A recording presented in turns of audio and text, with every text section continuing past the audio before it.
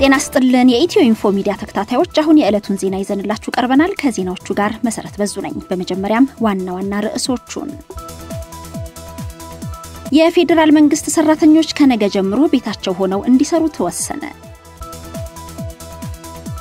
64 ኢትዮጵያውያን ከማላዊ ወደ ሞዛምቢክ በከባድ ተሽከርካሪ ኮንቴነር ውስጥ በመጓዝ ላይ ሳሉ ታፍነው መሞታቸው ተሰማ። በኢትዮጵያ በኮሮና ቫይረስ የተያዙ ሰዎች ቁጥር 12 መድረሱ ተሰማ። ወደ ኢትዮጵያ የሚገቡ መንገደኞች የሚቆዩባቸው ተጨማሪ ስድስት ሆቴሎች መለየታቸው ተሰማ። ኢትዮጵያ የ150 ቢሊዮን ዶላር የአስቸኳይ ጊዜ የገንዘብ ድጋፍ ጠየቀች። ጠቅላይ ሚኒስትር ዶክተር አብይ አህመድ ዛሬ ለቡድን 20 አገራት በጻፉት ደብዳቤ ከኮቪድ-19 ወይም ኮሮና ቫይረስ ወረርሽኝ ጋር በተያያዘ የ150 ቢሊዮን ዶላር ድጋፍ ለአፍሪካ ጠይቀዋል። በአዳማ ከተማ በኮሮና ቫይረስ ምክንያት ረዳቱን መልስ አይጠይቁ የሚል መልእክት ለጥፈው የትራንስፖርት አገልግሎት ሲሰጡ የነበሩት አሽከርካሪና ረዳት በቁጥጥር ስር መዋላቸው ተሰማ። በኮሮና ቫይረስ ስርጭት ስጋት የዘንድሮ ኦሎምፒክ በአንድ ዓመት እንዲራዘም ተወሰነ። ታዋቂው ሙዚቀኛ ማኑ ዲባንጎ በኮሮና ቫይረስ ምክንያት ሕይወቱ አለፈ። ታዋቂው ካሜሮናዊ የአፍሮጃዝ ሙዚቃ ኮከብ ማኑ ዲባንጎ በኮሮና ቫይረስ ህመም ምክንያት ማረፉን ቤተሰቦቹ አስታውቀዋል። በስፔን በኮሮና ቫይረስ ምክንያት የሞቱ ሰዎች ቁጥር በ24 ሰዓት ውስጥ በ514 ጨመረ። የዓለም ጤና ድርጅት በኮሮና ቫይረስ የሚያዙ ሰዎች ቁጥር አሁንም ካለው ሊከፋ እንደሚችል አስጠነቀቀ። ወደ ዝርዝር ዜናዎቹ እናልፋለን። የፌዴራል መንግስት ሰራተኞች ከነገ ጀምሮ ቤታቸው ሆነው እንዲሰሩ ተወሰነ። የጠቅላይ ሚኒስትር ጽህፈት ቤት እንዳስታወቀው የሚኒስትሮች ምክር ቤት ዛሬ 17ኛ አስቸኳይ ስብሰባውን ካካሄደ በኋላ ውሳኔዎችን አስተላልፏል። በዚህም የፌዴራል መንግስት ሰራተኞች ከነገ መጋቢት 16 ጀምሮ ተጨማሪ ውሳኔ እስኪተላለፍ ድረስ ስራቸውን ከቤት ሆነው እንዲያከናውኑ ተወስኗል። ከቤት ሆነው የሚሰሩ የፌዴራል መንግስት ሰራተኞች በእያንዳንዱ የሚኒስቴር መስሪያ ቤት አማካኝነት እንደሚለዩና ማን ከቤት ሆኖ እንደሚሰራ ያስታውቃሉ ተብሏል። ይህ ውሳኔ የተላለፈው በአዲስ አበባ የሚካሄድ እንቅስቃሴንና የትራንስፖርት ዘርፉን መጨናነቅ ለመቀነስ ታስቦ እንደሆነ ተነግሯል። 64 ኢትዮጵያውያን ከማላዊ ወደ ሞዛምቢክ በከባድ ተሽከርካሪ ኮንቴነር ውስጥ በመጓዝ ላይ ሳሉ ታፍነው መሞታቸው ተሰማ። ኢትዮጵያውያኑ ሕይወታቸው ያለፈው ወደ ደቡብ አፍሪካ ለመግባት በማሰብ ከማላዊ ወደ ሞዛምቢክ በአንድ የዕቃ መጫኛ ተሽከርካሪ ውስጥ ተደብቀው ሲጓዙ በተፈጠረ መታፈን መሆኑ ተገልጿል። በአጠቃላይ 78 ኢትዮጵያውያን በተሽከርካሪ ውስጥ ሲጓዙ የነበረ ሲሆን 64ቱ ሲሞቱ 14ቱ በሕይወት የተረፉ ሰዎች ከጭነት መኪና ውስጥ ዛሬ ጠዋት ተገኝተዋል። ኢትዮጵያውያኑ ስደተኞች መነሻቸውን ያደረጉት ከምዕራባዊ ግዛት አካባቢ ነበር ተብሏል። የኢሚግሬሽን አገልግሎት እንዳለው ስደተኞቹ በጭነት መኪናው ሟቲዝ ከምትባል ከተማ መነሳታቸውን ተናግሯል። የብሔራዊ ፍልሰት አገልግሎት ቃል አቀባይ ለቢቢሲ አፍሪቃ እንዳሉት እስካሁን ኢትዮጵያውያኑ ስደተኞች የሞታቸው ምክንያት በትክክል ባይረጋገጥም የአየር እጥረት ሳይሆን እንዳልቀረ ተናግረዋል። አክለውም ሲያስረዱ ሾፌሩ ተሽከርካሪውን እንዲያቆም ቢጠየቅም ለማቆም ፈቃደኛ ለመሆኑን አስረድተዋል። አንድ የስራ ባልደረባቸው ከመኪናው ጩኸት እንደሰሙና ስደተኞች ውስጥ ሊሆኑ ይችላሉ የሚል ስጋት እንዳለ ላቸው ገልጻላቸው እንደነበር አስታውሰዋል። ወደ ደቡብ አፍሪካ ለመጓዝና በዚያ ስራ ለመስራት እንዲሁም ሕይወትን ለመለወጥ የሚሹ ሰዎች አካባቢው የታወቀ መተላለፊያ ነው ተብሏል። በኢትዮጵያ በኮሮና ቫይረስ የተያዙ ሰዎች ቁጥር 12 መድረሱ ተሰማ። በኢትዮጵያ አንድ የ34 ዓመት ግለሰብ በኮሮና ቫይረስ መያዙን ተከትሎ በአጠቃላይ በቫይረሱ የተያዙ ሰዎች ቁጥር 12 ደርሷል። ይህ ኢትዮጵያዊ ከዱባይ መጋቢት 10 2012 ዓ ም ወደ አዲስ አበባ የገባ መሆኑን የጤና ጥበቃ ሚኒስቴር ያወጣው መግለጫ ያስረዳል። ከግለሰቡ ጋር ንክኪ የነበራቸው 15 ሰዎች ክትትል እየተደረገባቸው መሆኑን መግለጫው አክሎ ገልጿል። በኢትዮጵያ የመጀመሪያው ቫይረሱ ያለበት ሰው የተገኘው መጋቢት 3 2012 ዓ.ም ነበር። ኢትዮጵያ የ150 ቢሊዮን ዶላር የአስቸኳይ ጊዜ የገንዘብ ድጋፍ ጠየቀች። ጠቅላይ ሚኒስትር ዶክተር አብይ አህመድ ዛሬ ለቡድን 20 አገራት በጻፉት ደብዳቤ ከኮቪድ-19 ወይም ኮሮና ቫይረስ ወረርሽኝ ጋር በተያያዘ የ150 ቢሊዮን ዶላር ድጋፍ ለአፍሪካ ጠይቀዋል። ይህ ድጋፍ የአፍሪካን የድንገተኛ ጊዜ ጤና አገልግሎትን፣ ለበጀት ድጎማ፣ የውጭ ምንዛሪ ክምችትን ከፍ ለማድረግ እንዲሁም በወረርሽኙ ምክንያት የተጎዱ ንግድና ኩባንያዎችን ለመደገፍ ይውላል ብለዋል። በተጨማሪም ኢትዮጵያ የአፍሪካ ሀገራት ለወሰዱት ብድር የሚጠ የጠየቁት ወለድ እንዲሰረዝና ዝቅተኛ ገቢ ላላቸው አገራት ዕዳ በከፊል እንዲሰረዝም ጥያቄ አቅርበዋል። ጠቅላይ ሚኒስትር ዶክተር አብይ አህመድ ለቡድን ሀያ አገራት በጻፉት በዚሁ ደብዳቤ ላይ የዓለም ጤና ድርጅት በአፍሪካ ለሚያካሂደው የማህበረሰብ ጤና አገልግሎትና የድንገተኛ ጊዜ ዝግጁነት ድጋፍ እንዲደረግለትም ይጠይቃል። ቡድን ሀያ ሀገራት በዚህ ሳምንት መጨረሻ ላይ በቀጥታ የቪዲዮ ኮንፈረንስ ስብሰባቸውን ያደርጋሉ ተብሎ ይጠበቃል።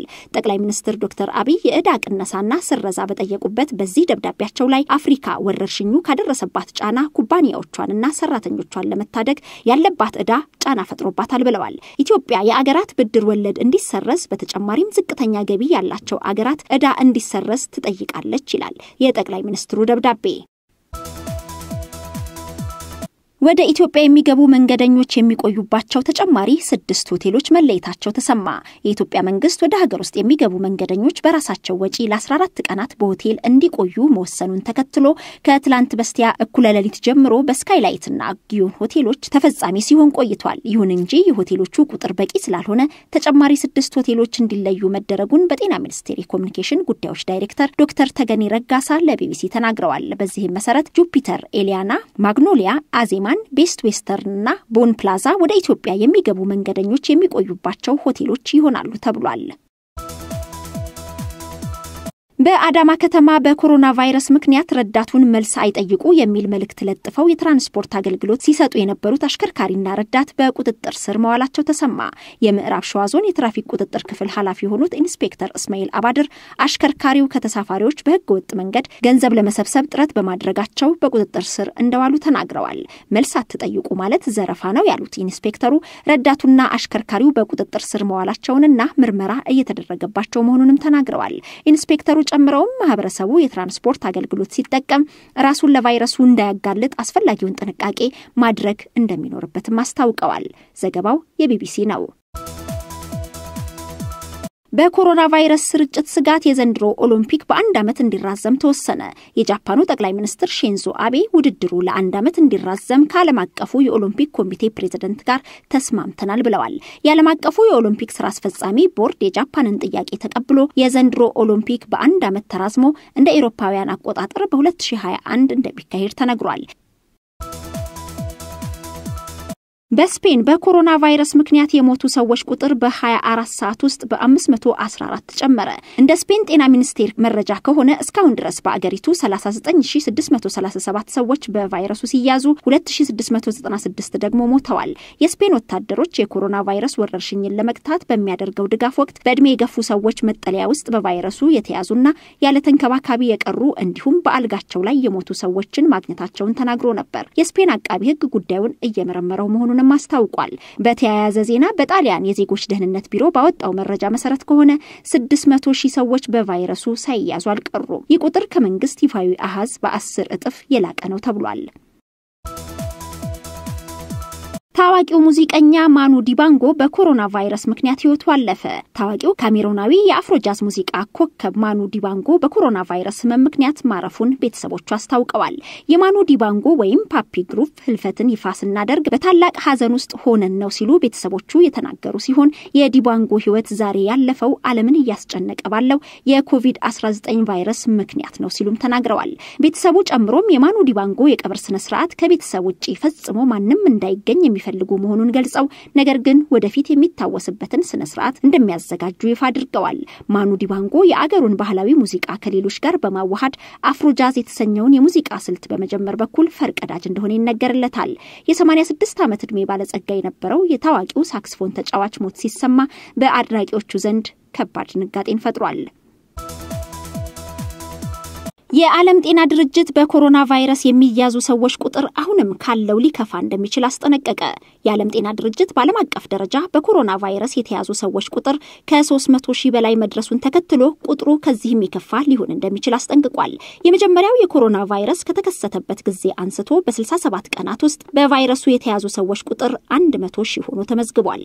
ሁለተኛው 100 ሺህ ደግሞ በ11 ቀናት ውስጥ የተመዘገበ ሲሆን ሶስተኛው 100 ሺህ በአራት ቀናት ውስጥ ብቻ የተመ እየተመዘገበ ነው። ይህም ቫይረሱ በጣም በጥቂት ቀናት ውስጥ የመዛመት እድሉ ከፍተኛ መሆኑን ማሳያ እንደሆነና ከዚህም በላይ የከፋ ቁጥሮች ሊመዘገቡ እንደሚችሉ ድርጅቱ አስታውቋል። የዓለም ጤና ድርጅት ዋና ዳይሬክተር ዶክተር ቴድሮስ አድሃኖም ቁጥሩ በከፍተኛ ሁኔታ ይጨምር እንጂ አሁንም ወረርሽኙን ለመቆጣጠር ተስፋ አለን ብለዋል።